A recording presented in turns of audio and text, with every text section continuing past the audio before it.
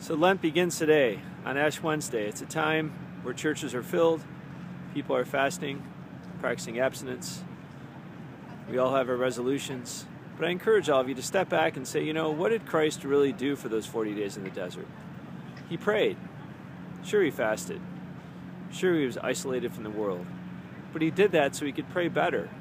He did that so he could be in greater union with his Father. 40 days of intense prayer soul searching, getting ready for his mission.